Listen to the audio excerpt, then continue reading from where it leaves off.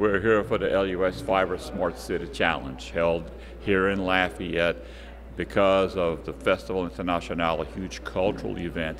We've matched in technology associated with that. LUS is the electric, water, and sewer provider for the city of Lafayette. LUS Fiber is our telecommunications arm, one of the few in the country that have where a city has built its own uh, fiber to the home telecommunications system, offering up to 10 gig per, second of, of internet to, to homes. And so what we're trying to do is to also look at what other things we can do to leverage the fiber to the benefit of the community on the long term. Uh, so the Smart City Challenge is all about bringing people from not only locally but other places to compete for prizes, financial prizes, uh, to be able to do something that can help our city as a whole with technology and without technology. She's looking at the whole, what, what, all, what are the things we can bring to the table that can make a difference in what our city can do. And transportation was keyed in as one of the things that's really, really important. Many cities have that same problem. You know, they, they've got a lot of cars moving. They don't have very much highways. It costs a lot to build the highways, et cetera. So the idea is to have these people look at the at the assets that we have in this community and look for ways that we can make transportation work better for our community as a whole. We've assembled an incredible group of talented folks uh, that uh, form teams, and they're going to come help us figure out how to solve our traffic problems. Lafayette, we're really blessed. We had uh, Terry Huval and a lot of smart folks uh, laid a fiber network a long time ago, which gives us capacity that not many cities in the world have. And so we're trying to capitalize on that and be smart about how we make decisions. And so one of ours is, is traffic, and, and this is an example of, of utilizing the the, the talent that, that exists from around the uh, country to come here and, and kind of help us figure out solutions. So our mission really is to in is to empower cities to engage with people, and uh, so cities is a big part of what we do. We play a big role in, uh, or it's a big part of our business is to help cities better connect with their citizens, um, to engage with citizens on a different level. Um, again, using technology and to modernize systems and to modernize the engagement that they have uh, with the citizens in the cities. I mean, Lafayette is a great city. I mean, we, we've had a great time since we've got here and met lots of people. And I, I'm, I'm really impressed with the way that Lafayette, the vision that Lafayette has around where they want to go. Uh, I'm really impressed and, and uh, um, inspired by the, the way that um, uh, Joel, the mayor, has, has put together his vision for where he wants to go, um, and really interested interested to see how his change in approach um, is going to change things for the citizens here in Lafayette. Anytime we can get really smart people thinking about the future of our city, as a planning director, I am super excited about that. So I was invited here today in part as a subject matter expert in the transportation space. I'm the planning director for Lafayette Consolidated Government, so just getting to talk through questions and answers with some of these folks is, is really exciting. One of the things that a city needs to do is to make it possible for its people to move around. Um, and, you know, whether that's by car or by bus, walking, biking, whatever mode people choose, the city needs to concern itself with the most efficient uh, transportation network possible. Lafayette is growing into a smart city. Ten years ago, LUS Fiber built a fiber infrastructure to provide high speed bandwidth across the city uh, to every citizen within the city. Um, this has provided the citizens of Lafayette with a better quality of life. It's provided the Lafayette with economic development and growth um, in the tech community, and who knows what's to come. LUS Fiber was a vision that we had to build, to build our own telecommunication system in the city of Lafayette. Because we had our own electric utility system, we needed fiber connectivity anyway to to operate the system. And so what we did was take it back off of the utility system, fiber system, and built something for the entire city. It took a public vote in 2005, which was a 62% vote in favor of it. Took a number of lawsuits that were uh, placed upon us by the competitors, by the large telecom companies that did not want us to get into this business. Then it took the faith of the people of the community to say we really want this, and they did. In 2009, we began serving our first customers, and as of today, we're probably about got 45% of the market. We're making a, a substantial profit, allowing us to start expanding outside the city of Lafayette. And the, the beauty of the system here is that it's owned by the people of the city of Lafayette. So the directions that we're taking is based on what the people want to see, not just based on what corporate America wants to see. And as a result, we have gotten a strong allegiance from our from our community. We're the only city in the state of Louisiana to do this, and probably one only probably one of maybe 20 cities in the country to do this.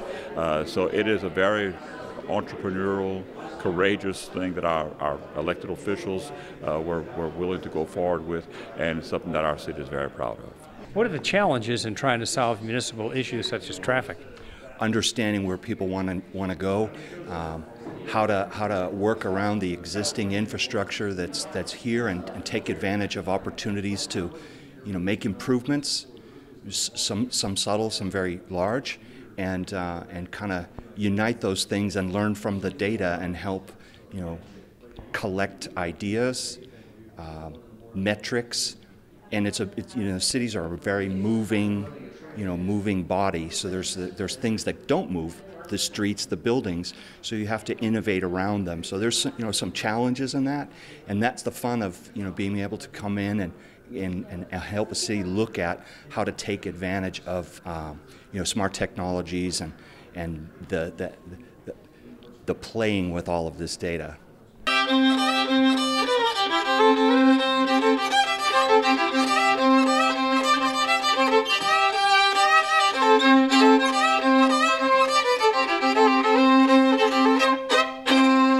Bonjour tout le monde. That's a good way to wake up people who've been awake for 24 hours. It's like an alarm clock. My name is Terry Huval. I'm with LUS Fiber, and we're so so proud to be part of the Smart City Initiative. Uh, the the uh, the whole challenge and the whole concept of doing things with the technology that we have here in Lafayette today, and and and bringing it to the, a different level for the future. Our community, the people of this community, voted to establish this system. And so it's theirs. And we wanted to make sure we do all the things that we can to make it the best investment they could have ever have hoped to make.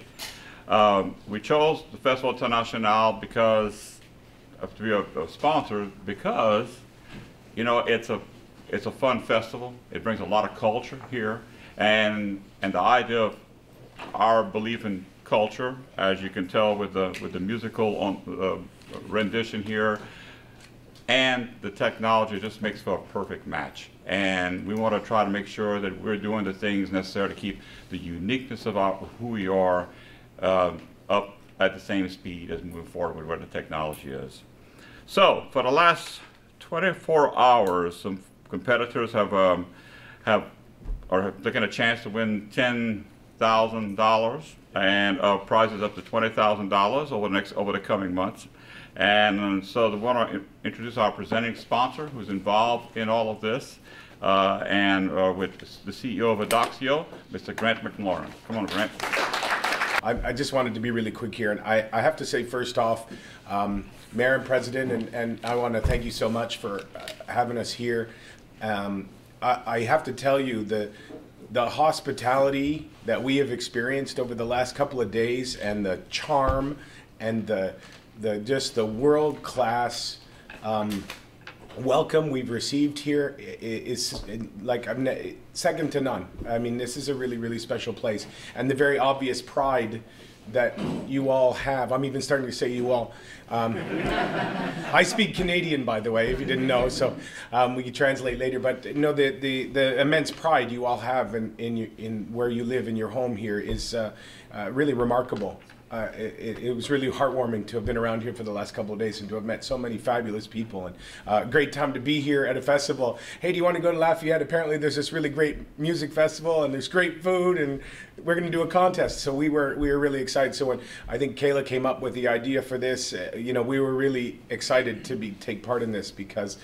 Um, you know, was, I had the opportunity to be on the, the, mayor's radio show yesterday, and we talked about it. Local governments are the closest to people.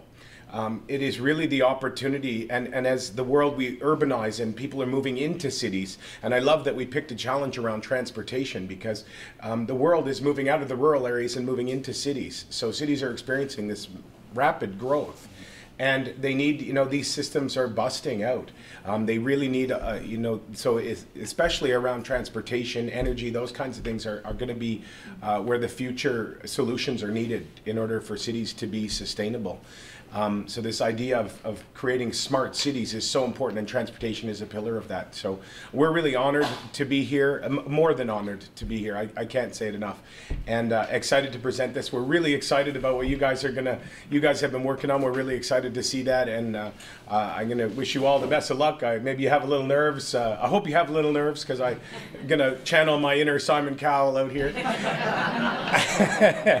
and uh, I'm I'm just really looking forward to everything, and and uh, just come up here and be great, everybody. Thank you so much for allowing us to be here once again. Thanks. Each team is going to have four minutes to present their idea. And at two minutes, they're going to get a warning. At one minute, they're going to get a warning. At 30 seconds, they're going to get a warning. And then when it comes to this, after they come to a pause, we're going to we're to applaud. So we're going to get this uh, rolling pretty quickly. Our judges are going to have five minutes of Q and A. Uh, and so um, we're excited to, to get started. Um, at the end, we're going to deliberate. We'll go and talk about all the teams. We're going to, uh, they've got a rubric. They've got a bunch of questions they're going to uh, ask.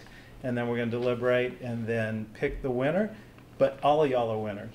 Can we, can we get an amen to that? Yeah. 360 Fuel, come on up and we're going to plug you in. There you go. I'm Orland Prosperi from 360 Fuel. We're actually a company here that houses most of its development here in Lafayette. We are an IoT fuel company. We have a number of disruptive technologies coming to the fueling experience soon. But I'd like to get started and, uh, and go. So as we explored the problems of, of the parish in regards to transportation and not only just moving vehicles but moving people, I think again and again we wanted to solve it with with one solution. And, and the reality is there's no silver bullet that provides the infrastructure needed to move people across the parish uh, as needed, unless you spend tons of money on, on development to have uh, a, a, very, very robust infrastructure. So, how can we solve this problem, or problems rather? Uh, too many cars, underutilized options, and untapped infrastructure. Currently, Lafayette has a great infrastructure with LUS fiber to every uh, traffic light and the, the cameras that are throughout the city. Um, lack of incentive. What do you do to incentivize people to uh, use other modes of transportation? So we developed a platform. Our platform incorporates uh, traffic vision, which is a, uh, a uh, it includes computer vision as well as radio frequency technology, uh, that are open to the public and I'll get more into that in a second. A mobile app, a traffic module that goes on every, uh, every traffic light, as well as bike sharing, smart buses, and carpooling, utilizing exi existing infrastructure as well as adding a little, but not much. The budget for our project is $1.4 million. So our traffic solution, so we actually were able to utilize the, uh, the cameras that are throughout the city to actually count cars uh, at various times of day. Um, we use computer vision for that. Our traffic solution includes adaptive control, traffic diversion, car counting, emergency notification, and a real-time API. Uh, the API can be utilized with apps like Lyft, uh, Waze, as well as Uber, and open to uh, Apple Maps as well as Google Maps as well. So let's talk about the economy of miles. Well, what is that? Well, uh, we need a way to incentivize consumers to use our app as well as to plug into Go.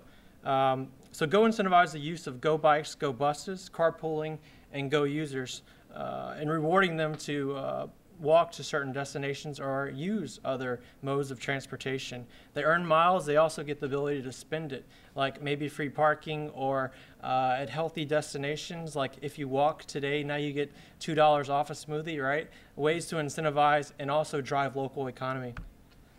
So our mobile app that we developed incorporates the abilities to, to carpool, to bus, to walk, to park, and bike, uh, as well as infrastructure needed.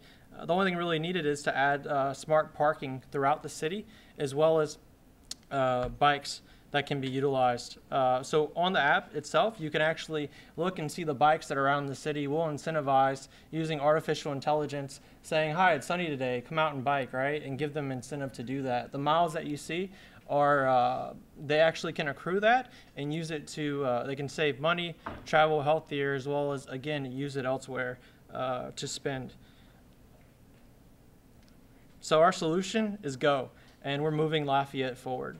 I'd like to open up for questions. Thank you all for having us.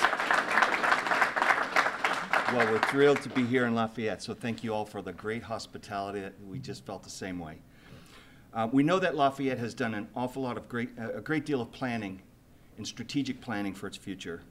We're excited to be here, focusing on transportation, because you actually already recognize some of the work that we've done in helping our client in Denver Regional Transport uh, District achieve the TSA's highest security standard, the gold standard for, for security. We've also helped Tampa um, by looking at their data and helping them look into the decision-making trees that they have. They, they, they actually chose to not do a commuter rail program because the ROI just wasn't there. Based on these experiences, we really think we can help the city of Lafayette. One of the things you've told us that you are interested in is telecommuting. We believe that Lafayette is uniquely positioned to incentivize telecommuting because your broadband internet is municipally owned. So you can determine how much it costs the city in congestion, offer a fraction of that as an incentive to employers and to employees to work from home.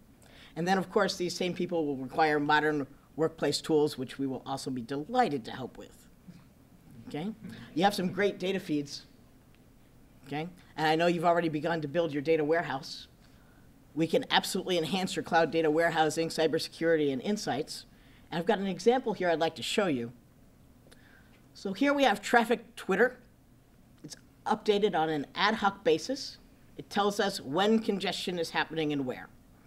On the other hand, we have traffic 911. It's updated every 15 seconds. It tells us incidents that might impact traffic.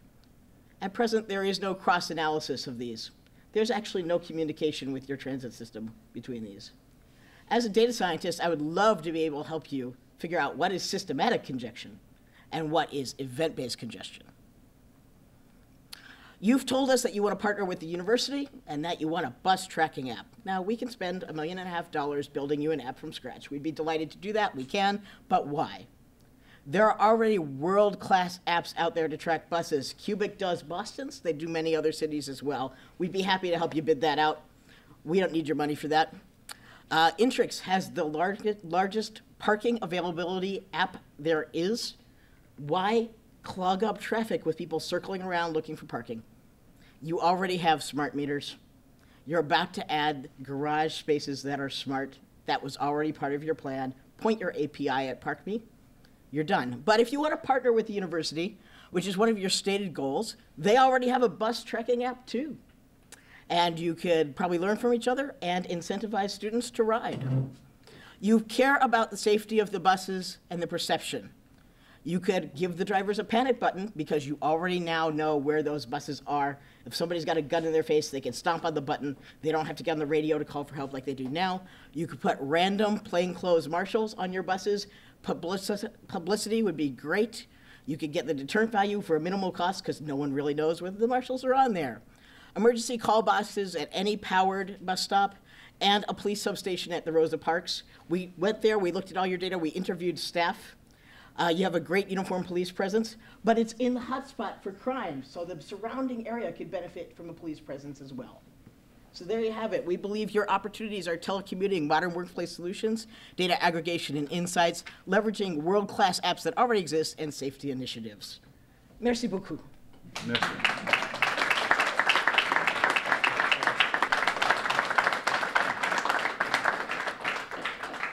I just want to say thank you for allowing us to be here. It's an honor. I want to introduce our Alternative Transit Incentive Platform. Okay, so we have a goal. Our, our team has a vested interest in assisting development of a safe, efficient, and cost-effective means of city transport, and here's a platform that can assist in that. It is called Allons. Excuse my French, but that is, that means let's go. And here's the picture of the mobile app, and here are the goals of this app. Incentivize public transportation, uh, engage people in local businesses, get people to the stores and, and give to the economy, but importantly, provide a data analysis platform for LCG. Okay, so we have these uh, alternative transportation methods, and I can gain points with the app just by riding a bus, carpooling, or biking.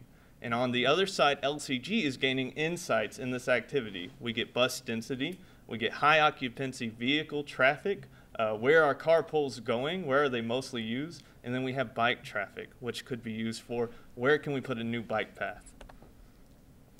Okay, so we have the user engagement with the local economy. So this is what happens when I open the app. I'm able to scroll through and see promotions put forth by uh, local businesses. I'm gaining points as I'm traveling. On the bottom, you see my points balance.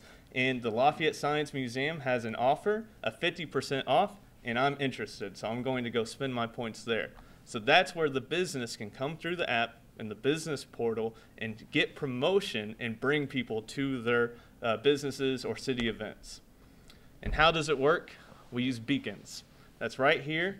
Um, we provide beacons to public buses. This is a Bluetooth technology. Uh, it's inexpensive and it's used by insurance companies across America right now. And the best part, you don't have to take out your phone when you get on the bus. You don't have to act with the app, it can collect it. Okay, so this is the gain for LCG, the data. So if I let's let's take my user story. I'm going to ride my bike and I want to gain those points because I want bonuses and I want discounts around the city. So I ride my bike and I get on the bus. And notice the red area, that's where we hit a maximum occupancy on that bus. It was a little crowded. So this is a great example how LCG can see the data and use it to make plans. Maybe we need a new bus stop, a new bus route. We need to make a plan. So let's look at the use cases. Uh, you've already, I've already talked about the Lafayette Citizen use case, and I'm excited. I'm excited to start gaining these points because I want these bonuses and I want to interact with my economy. Um, businesses are excited because this is promotion in a competitive market and they can pull more people in. And LCG, I hope, is excited because they have a new platform for city planning and data collection.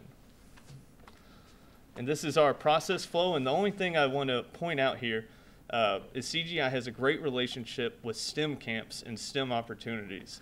So it would be a great collaboration to teach a high school how to build these uh, Internet of Things devices. We're training a school and we are doing a cost effective way to collect these.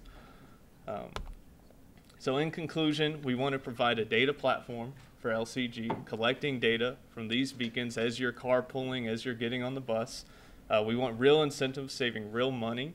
Uh, carpoolers are saving from just the gas, but they're also getting bonuses around the city or discounts.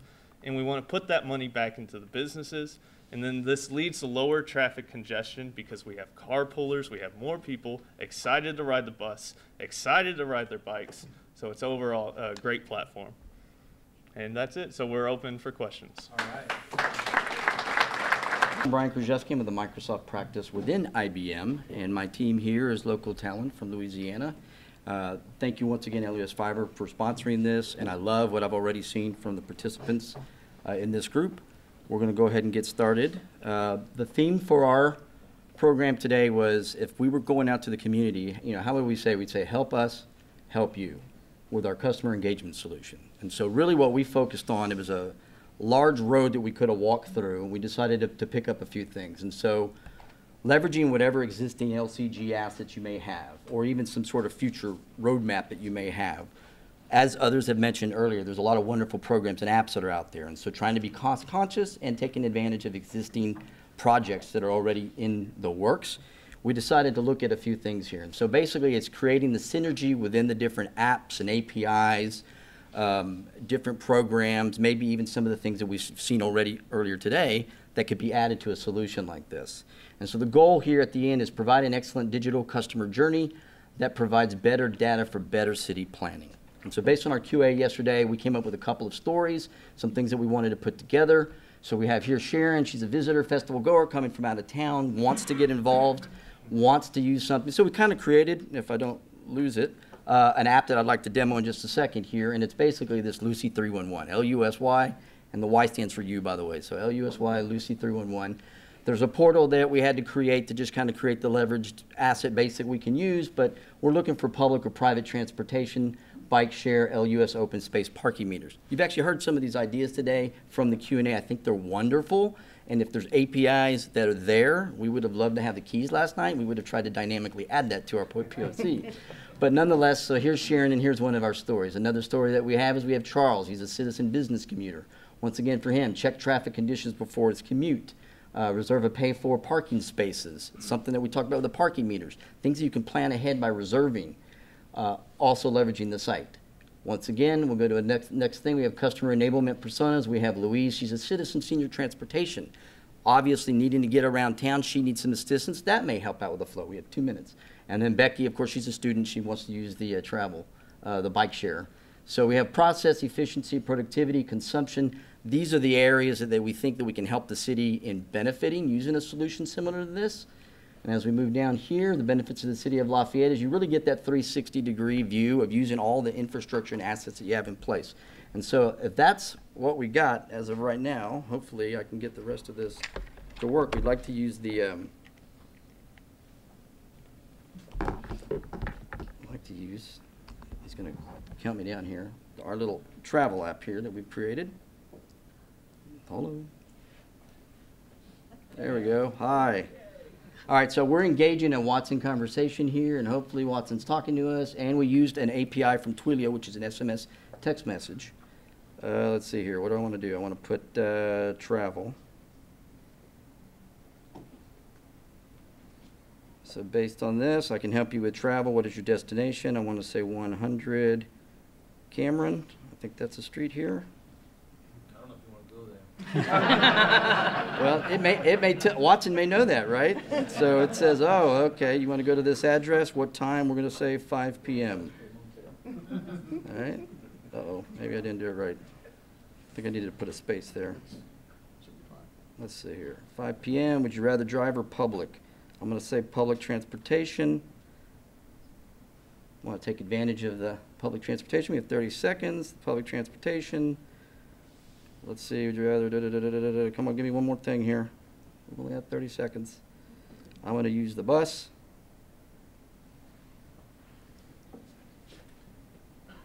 All right, bus, awesome. Now, once again, here's a dynamic API we would have loved to click into, because right then and there, we could have gone to your already existing bus routes and start to plan those things. This is just an example, easy, simple POC we just really wanted to put something together. You kind of show you the art of the possibility, what could be out there already, whether it's existing infrastructure or something on your roadmap. We would definitely like to work with you and any of the other participants. Thank you. Let's hear from Team Life. Good afternoon. My name is Shane East. Um, we're, we were Team OM, but we have a bunch of people here that aren't in the opportunity machine. Uh, so we just became uh, Team Lafayette Moves, and it's kind of an ad hoc group from a lot of different uh, areas. But we're all from here, we're all from Lafayette, and are super familiar with the problems. Um, we saw this as uh, it's a, there are a lot of high-tech solutions obviously being presented today, but there are really uh, a lot of low-tech problems that we're facing. Uh, can, can you all hear me in the back? Talk up louder? Okay, cool.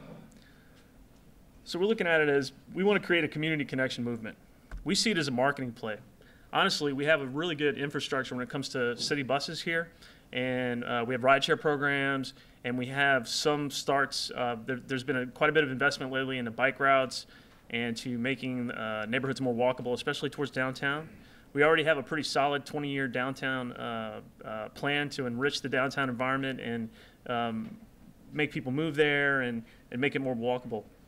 So we're basically we're looking at, at marketing what's already there and getting people to uh, change the perception of it and to start using what's what's already available.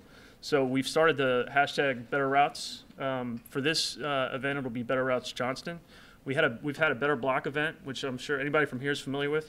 We've had several Better Block uh, Bertrand, Better Block Congress, and they've been super successful.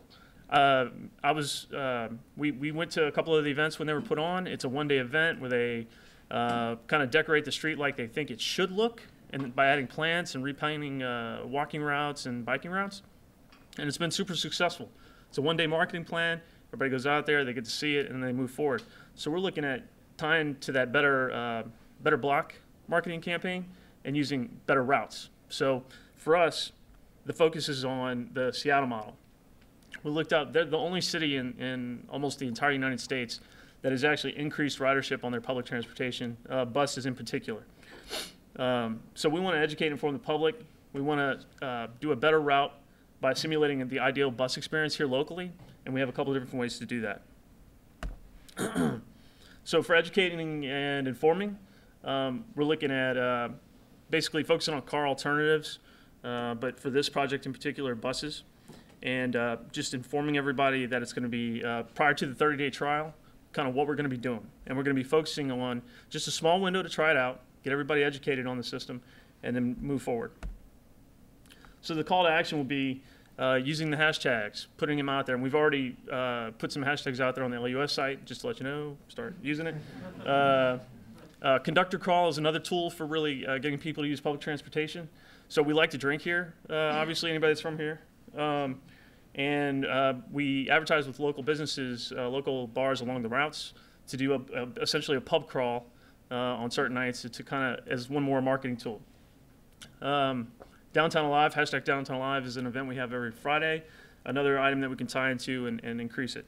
But we have a we have a huge population of people that are uh, below 30 here that could potentially be are interested in public transportation, maybe uh, don't perceive it like it really is, and we think we could, by a really strong marketing campaign, kind of increase that uh, uh, that ridership. So part of the problem is the buses aren't that great. Uh, the bus routes aren't that great here. We don't have enough buses.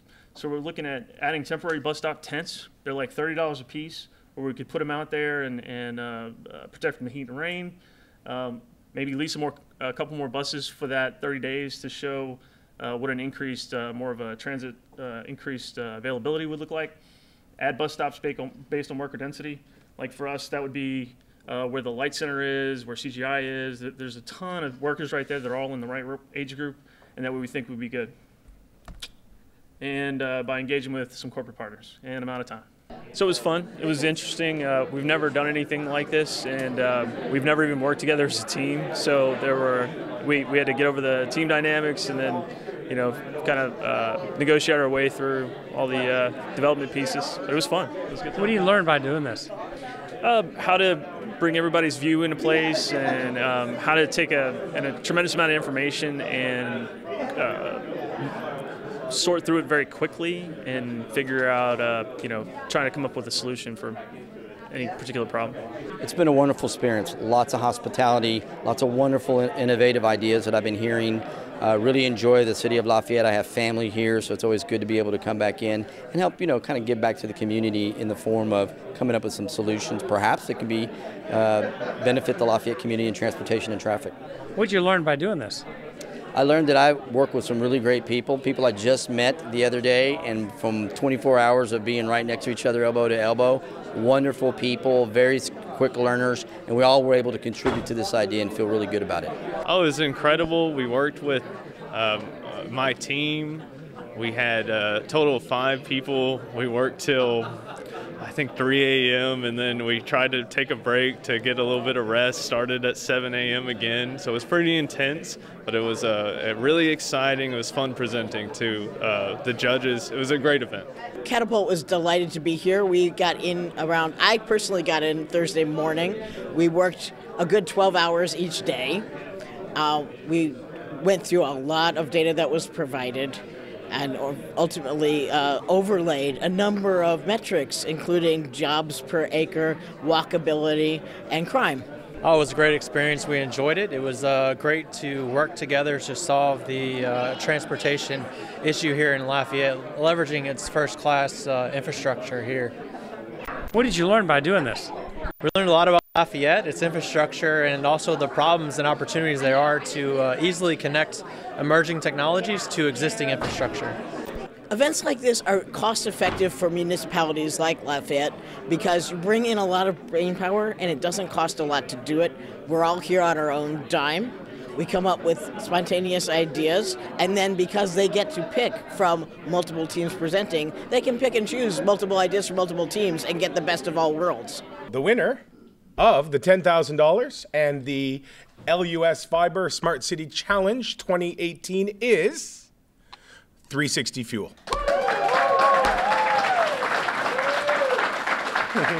Congratulations, guys.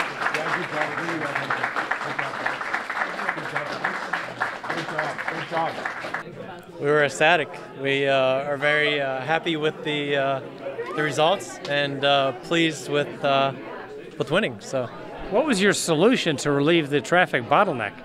uh, our solution was a mixture of sensor as well as uh, mobile technology, uh, along with the existing infrastructure that's already in place, the fiber infrastructure with all the traffic lights throughout Lafayette. What do you think of this entire contest? Oh, it was great. Uh, 24 hours to come up with a solution in code is uh, a very short amount of time to uh, produce the results that we did, so we're very pleased.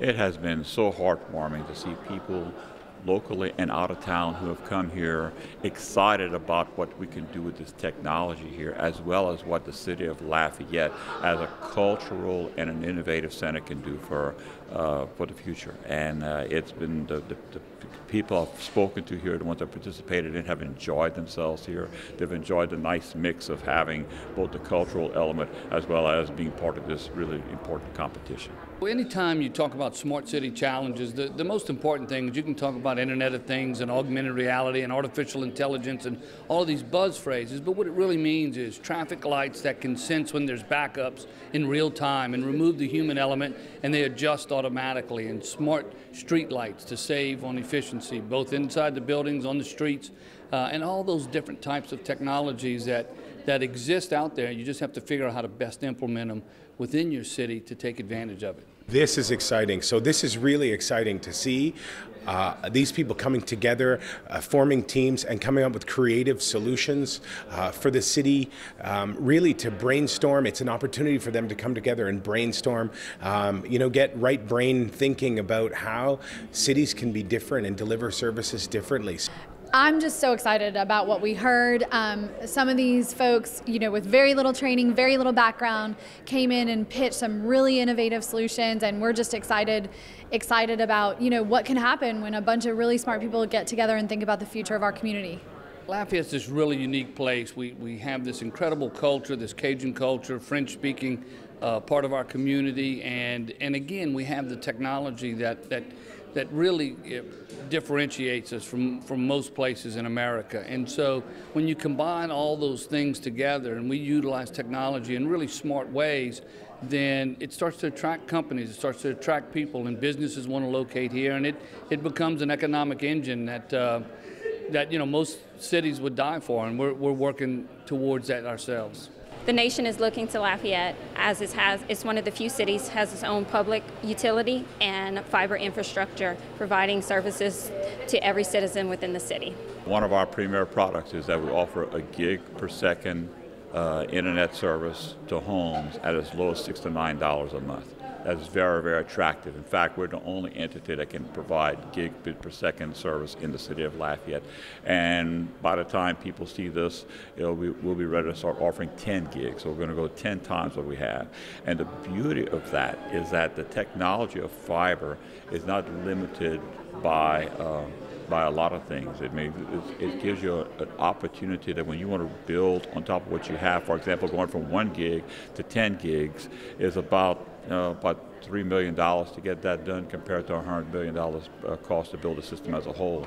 So once you have fiber in place, now you have that open pipe that can allow you to do whatever it is that's necessary in the future to be able to meet the demands and the growing demands of uh, internet usage. You know that there's smart people out there, and you're, you're always thrilled when they're willing to engage in, in ways to, to help you with solutions. But, um, but I'm never really prepared for how brilliant all these young minds are and the solutions that come out of it. So we're thrilled uh, with the winning solution. We're, we're thrilled with everybody because all of the input that we're receiving is going to help us be a better city. If people have questions like more information, what should they do? Go to smartcity at lus.com.